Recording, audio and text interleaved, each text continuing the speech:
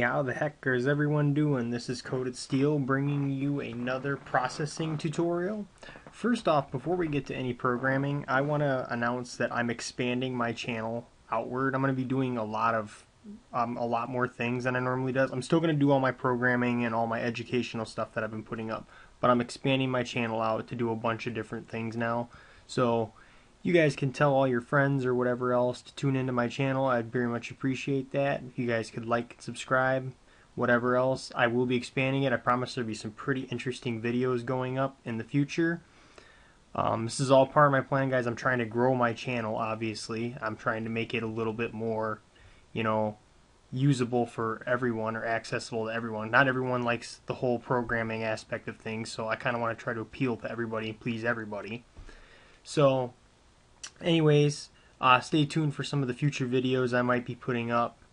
And uh, I should be putting some of those up this week. Anyways, into the actual programming part for processing. What are we going to do today? I said we were going to cover a for loop in the last tutorial. And I actually came up with a pretty creative example for a for loop.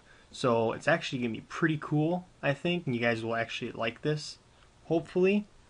And uh, without further ado, let's actually get started. So, first thing what we're going to do is we're going to do our void setup, just like we always do. Void setup or void loop. We're not going to use void loop today though, because we're going to use the for loop. The for loop pretty much is going to be our loop that's going to do the whole code for us. So what I'm going to do is I'm going to set the size to 300 by 300. For no particular reason, guys, I just chose a window size of 300 by 300. So that's actually going to give us, I think it is 90,000 pixels that comes out to be.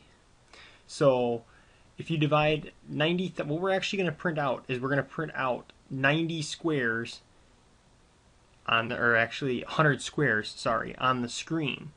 So if you guys can see how that's going to happen, you might not see it yet, I'll show you here in a minute. Anyways, we're going to do is type then this keyword called for.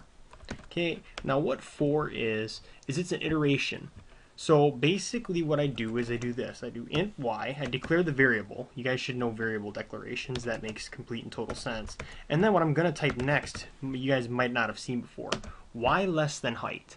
Height actually stores the value of the window size. So that's this parameter right here. It doesn't store the value of this. There's another variable called screen width and screen height. I'm not using, those are the entire screen, take up the entire screen area. We're not doing those. So height is actually this number. I Could I use 300 here? Yes, it would do the same thing, but it's more, cre I guess it's more, uh, you know, it's just a more used way of doing this, I guess is what you'd say. More creative way of doing it, I guess. I don't know. Use the tools they gave you, I guess is the best way to say it. And then what we're going to do is we're going to do y plus equals 30. Now, with this sequence, so basically our for loop is this. I'm starting a variable, I'm initializing a variable, and I'm telling you where I'm starting at. I'm starting at 0. And then for y less than height, how long am I going to continue this? Well, y is less than height, I'm going to continue to run this for loop. And then I'm incrementing by 30 each time. So it's going to grow by 30 each time. This number is going to grow. So it'll be 30 the first time, then 60, then 90, then so on and so forth and so forth until it reaches maximum height. Then it will break out of the loop. So now that you guys understand that, and hopefully that made sense to you. If not, I will hopefully it will make your sense in a second and we're going to do x less than would what do you think now guys? We're going to do the width just like I was saying before and it's going to be the same stuff. And I don't know why I'm adding spaces. Plus equals 30 so those are both of our for loops taken care of like that. You guys may have seen curly braces like this before around loops or whatever else. We're not doing a for loop that's going to have multiple like blocks in it. So I only need to type for and I don't need to put the curly braces if I needed to say, you know, repeat this this set of instructions, then I would need to put curly braces around the set of instructions I want to repeat. But since it knows where it's going to start and stop by that curly brace, or, or not needing, it doesn't need curly braces because there's two, it's a nested for loop with another for loop. The second for loop, though, does need curly braces because I need to tell it which instructions to repeat. So first off, what we're going to do is we're going to declare global variables. So this is commonly done in a lot of processing programs that you declare global variables. Since main is run in the background, as I've explained to you guys in previous tutorials, you can only really declare variables in the global scope of things. Otherwise, your other functions won't be able to see those functions. It's called variable scope. I will explain variable scope in a later tutorial, but for right now, you guys need to understand in order for setup and loop to be able to see the same variables, they need to be typed outside of the functions. Anyways, um, this is just going to store color value. Okay, so the next thing you guys have not seen before too. There's a bunch of new things in this tutorial, I do apologize for that, but this is pretty cool stuff that we're going to be doing. In order to be able to do some of the more complicated programs, you need to understand a lot of these functions. So any of you guys who have followed along with my C tutorials in the past know about the rand function. Well, the rand function is random in here. And you even don't need to type srand. It's seeded for you. You don't have to type this function anymore. Any of you who know about srand and rand, you don't need to seed the random function anymore. It's seeded automatically. It's seeded with the time, probably, is how they did this algorithm. I don't know, I haven't seen the function code, so I'm just assuming that that's how they did it. And then I specify two parameters within the rand function, 0 and 255. Why 0 and 255? 0 is the minimum value that I want the random function to take on. And 255 is the maximum value that I want the, um, the rand function to take on. So these are basically my limits. Don't go any lower than 0 and don't go any higher than 255 is what I'm telling the random function. And then assign that value that you return. Since random is a function that will return a value, it'll store it in R. And we're going to do the exact same thing that we did with R two more times. Guess why, guys? Because we're going to do the same thing for G and the same thing for B. So basically, if you guys understand what I was saying before, we're going to get random color values here is what's going to happen. It's going to be any color between 0 or any RGB value between 0 and 255. And then what we're going to do is we're going to do the fill function. Hope for a fill method. I, I keep calling these functions, guys, but they're methods honestly, I don't see the point. They're they're just naming it something different. These are actually methods though because this is JavaScript coding. So I do apologize if I call a function or um, if I call it a function, it's actually a method. If I call it a method, that's actually what it's supposed to be. But that's one of the things I program in too many different languages, so I don't know.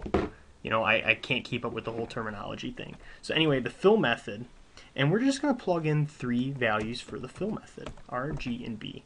If you guys remember the fill method, this is the actual RGB. This will give you the red, green, blue. The other one specifying a single parameter is a grayscale color. So hopefully you guys remember that from a previous tutorial because I did I do know I explained that. And then the last thing we're going to do is type the rect function. Now this one I know you guys should know. And we're going to specify our location as x, y, and a 30 by 30 rect. So what's going on with this whole program? I'm going to explain it. So we're creating window size 300 by 300. That should make sense to you guys. We're going to get a window maybe about this big or I don't know, they're not that big by that big maybe, something like that. And it's going to just basically what you guys should expect to see if you can analyze this code. You're going to see a bunch of squares on the screen that are going to be different colors. Hopefully you can see that from actually analyzing the code that that's what it's going to do. If you can't, I suggest you review the fill function and the rect or review some of these functions to kind of understand what they do on the processing reference website because this is actually a very simple and straightforward program guys. So if you guys do not understand this make sure you review some programming or you play with this tutorial. Anyways we should expect to see 100 squares that are different colors and hopefully that's exactly what we see. And we got an error guys. Actually I got this error on purpose don't believe me? Well, I wanted to show you guys something. It's called typecasting. So, I've never explained typecasting in any of my videos before. But in order for this code to work, we cannot convert from float to int. So what's going on here, guys? Random doesn't return an integer value. We declare ints up here. But rand does not return an integer. It returns a float. So it could be 254.5, 2 50.973 or something like that. So we don't want that. We want the pure integer value. So how do we do that? How do we make it return us an int? What we do is we do this thing called typecasting. And basically what we do is we just say we type this word the keyword int before this and put it in parentheses. And that tells the rand function, hey, when you're float, convert yourself to an int and then assign yourself to red. Same thing with this. Convert yourself from a float value to an int and assign yourself to green. Convert yourself from a float, blah, blah, blah, to blue. Okay, so that's basically what this is doing. You could do this different ways with different, you can use the parentheses differently, like typing it like this or something if you wanted to. And, you know, I, actually, I guess you can't. It won't work that way in, in processing. But I know in different compilers you can type it that way. So, but this is usually probably the most common way of typing it. This tells uh, processing I want to typecast this method random and return it as an int. So anyways, enough jabber, jibber jabbering. Let's actually see this code in action. There we are, guys. We have 100 different squares. 1, 2, 3, 4, 5, 6, 7, 8, 9, 10. Yes, I didn't want to make sure I didn't put my foot in my own mouth. There's 100 squares on here. And they're all different colors. I don't think a single one of them is the exact same color. There's a few that are close, but I don't think they're exactly the same. But if I generate this again, I should get a different result, guys, because it's random. And we do, because I remember this was a lighter green up here. Now it's like a teal almost. So there you have it, guys. That's a simple demonstration of a for loop in processing.